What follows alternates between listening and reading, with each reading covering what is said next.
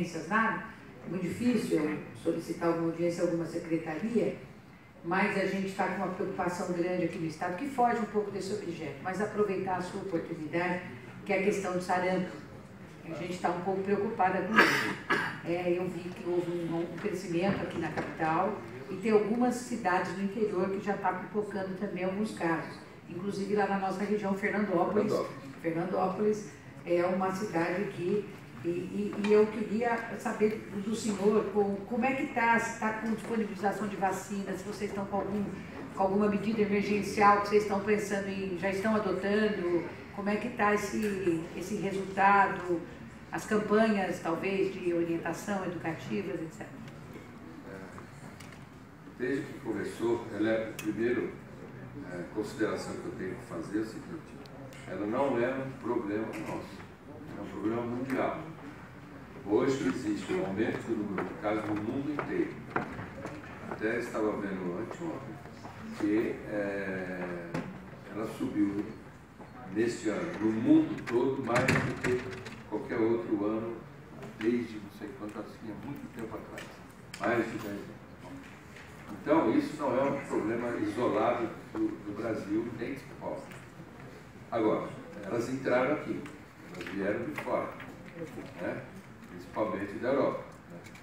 É, e aí, a contaminação do sarampo é muito rápida, cada um contamina 18, então isso traz um, um aumento rápido. Né?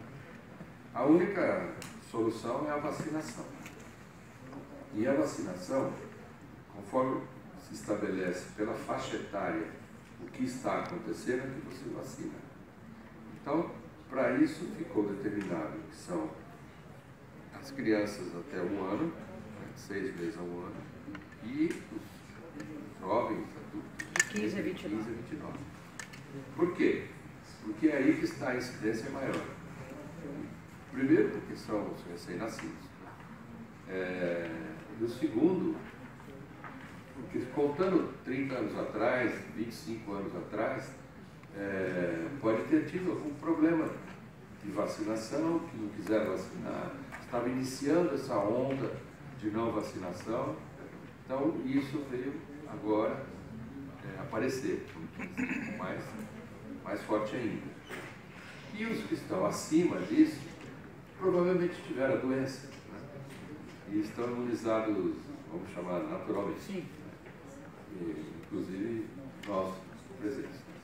Então, quase todos nós aqui passamos por isso.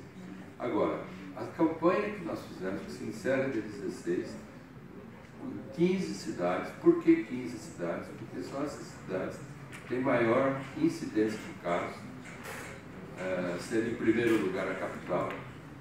Hoje, no dia de hoje, nós temos 1.300 casos confirmados, sendo 900 em São Paulo, a cidade de São Paulo.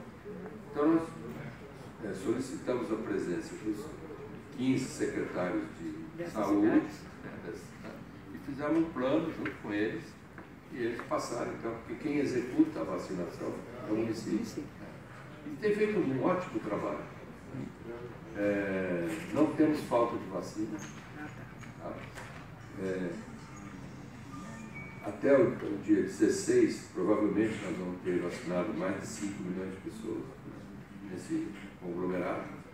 E, e aí agora é uma questão de observar o comportamento da curva de crescimento.